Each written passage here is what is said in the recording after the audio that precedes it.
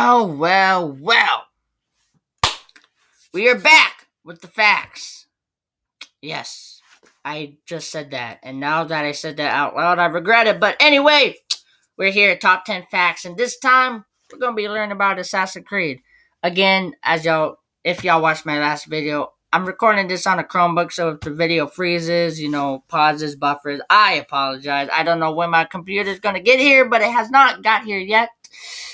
So, I guess this is um what we're going to have to do with and also I apologize about the lighting. I have the closet light on and the bathroom light on, but like for some reason, my grandparents they don't like light bulbs.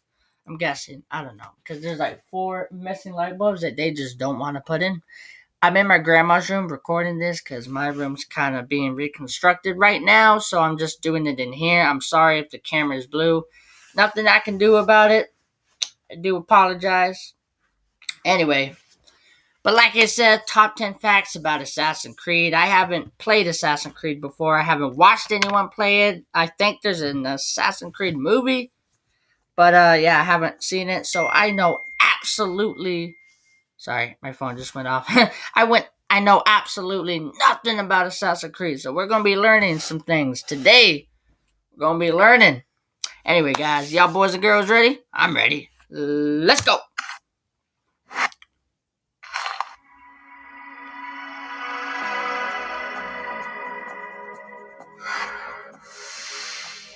When Assassin's Creed was first released, players quickly noticed how similar the game was to previous Prince of Persia games. And that shouldn't come as a surprise, as in the beginning the game actually had the title Prince of Persia Assassins.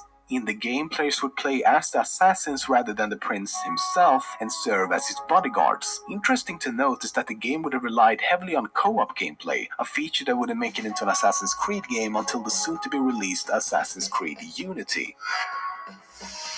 At one point in Assassin's Creed 2, you're asked to deliver a letter to a farmer. If you read the letter, it reveals that the farmer has, among other things, attacked his neighbors with a sword. It also states that he has committed crimes against God and nature, and then gives us a reference to a verse in the Bible. If we look up this section in the Bible, the verse in question states that no man or woman must have sexual relations with an animal.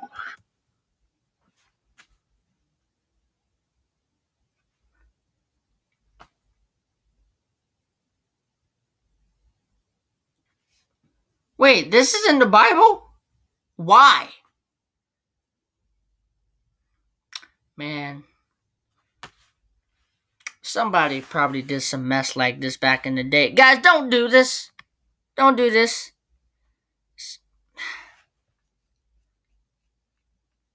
Don't. I didn't even know this was in the Bible, actually. And why did they put this in the game? I don't even know.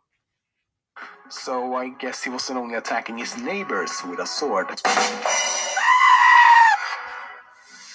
Altair has only been shown without his hood on once in the entire series. It's during the memory Lost Legacy in Revelations when he talks to his son before closing himself inside a secret library. I mean, even when Ezio finds his remains many decades later, he is still wearing it.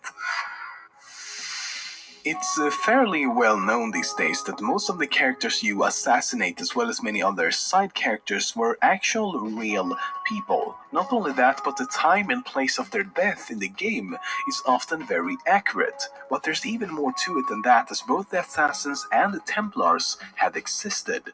The real assassins were called Hashashin and existed during the Middle Ages. Just like in the game, they did indeed assassinate political figures, and these killings were often conducted in broad daylight in full view of the public. Unlike the assassins in the game, though, they did all this only to further their own interests and not for the good and free will of the people. The Templar Order in Assassin's Creed was called Knights Templar in real life and existed within roughly the same time period as the Hashashin. However, in real life, these two groups were not enemies. In fact, as far as we can tell, they never even met. And their roles were kind of reversed as well because the Knights Templar developed safe trade routes, worked with people to forge alliances, and to create a safe oh. environment for travelers. All the while, the Hashashin assassinated people for their own Oh. benefit.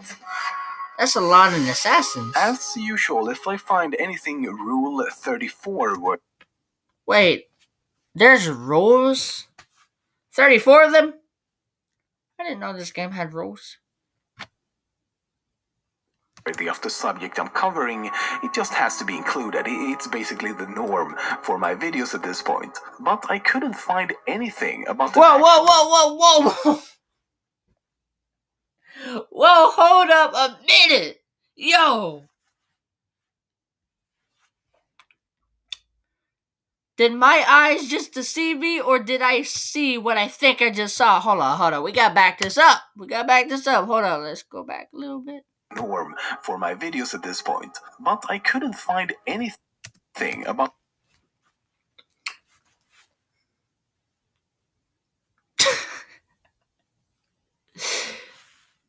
We're just gonna move on. an actual Assassin's Creed porno. And hey, this is a family channel. Don't be typing that mess in. of any kind. I got kids watching. And so I guess that's a relief or a disappointment, depending on your sick and twisted fantasies. But it is possible that the main protagonist in Black Flag, Edward Kenway, is based on the lead character from the movie Pirates, one of the best-selling pornos of all time. It was released in 2005 and is a pornographic parody of the Pirates of the What in the What in the sexy Pirates of the Caribbean is going on here? Hold up. 2005. Yo, I gotta check out this movie. Hold up. Yo. I didn't even know this existed. Yeah, I'm definitely checking out this. After this video, I'm gonna watch this movie. Um, for science purposes, you know. Gotta see if the movie's good, you know.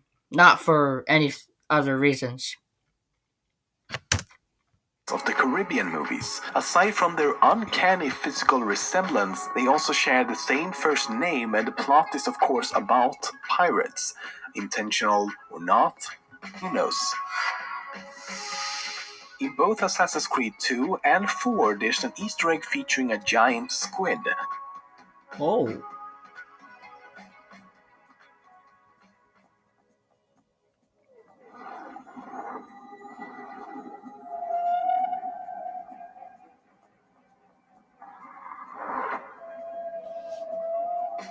Oh, shh. Yo, they're fighting. Hold up now. Squid, giant squid versus blue whale. If a giant squid and a blue whale fight, who do y'all think will win? I assume the giant squid would win because, like, it just has these tentacles that it could just take out a, uh, a whale, easy peasy. Assassin's Creed series also has quite a few references to other games. For example, in Brotherhood, Ooh. there's an achievement called Grand Theft That was awesome. He just jumped from horse to horse. after dressage and a memory titled Castello Crashers. When Ezio meets his uncle Mario in Assassin's Creed 2, he says, Don't you recognize me? It's a me, Mario. I cannot believe this mess. This man really. This man really did Mario's catchphrase.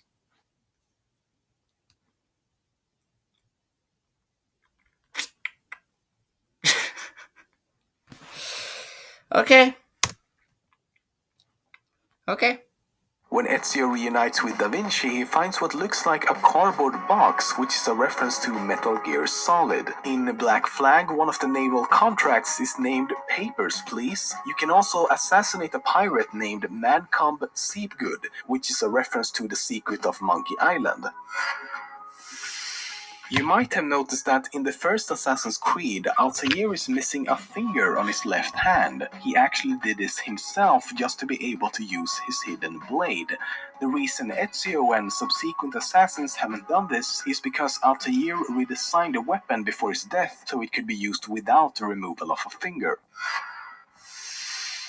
The ship that Connor is the captain of in Assassin's Creed 3 is named Aquila, and Aquila is the name of a constellation in our galaxy, which is Latin for the word eagle. The brightest star in that constellation is named Altair, and Ezio also means eagle. it's very likely that Assassin's Creed and Watch Dogs exist in the same universe. For Oh, example, in Assassin's Creed 4, you can hack into a computer and find a document where the company Blume from Watch Dogs is trying to pitch their CTOS to Abstergo. And for those of you who's played Watch Dogs would know that the CTOS plays a central role in that game. But the connection also goes the other way around, because in Watch Dogs you can hack into this CTOS system and actually spy on people. If you hack into a certain server, this sequence can be seen. Why is he doing this? He's an assassin, Dad. Well,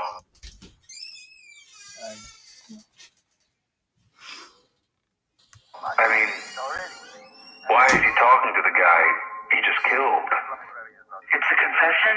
Well, that that's just dumb. Dad, please. But that's kind of weird, right? If people in the Watch Dogs universe are playing an Assassin's Creed game, they can't be in the same universe, right? Well, that's what I thought too at first until I realized something, and here it gets a little complicated. If we go back to Black Flag, we are actually working for Abstergo Entertainment, and their primary product is a gaming console version of the Animus. In fact, the reason given to us for why we're even using the Animus in the first place is to gather footage for a new video game. Maybe you saw Liberation? That was our first title powered by Animus Tech. In other words, Abstergo Entertainment are creating Assassin's Creed games within the Assassin's Creed games. So if the two games are connected, it actually would make a lot of sense. But if you're still not convinced, there's an even stronger connection. The CEO of Abstergo Entertainment is named Oliver Garneau, Ah, there's the boss, Olivier Garneau. and in an email we learned that he'll be attending a meeting in Chicago, the city where Watch Dogs takes place. But he never arrives at the meeting and is declared missing. Olivier is missing. He left for Chicago two days ago, but no one's seen him since. In Watch Dogs, there's a mission where you actually assassinate him, thus explaining why he went missing in Black Flag. This guy's involved in some heavy shit. Patented genomes, genetic memory manipulation, sketchy pharmaceuticals.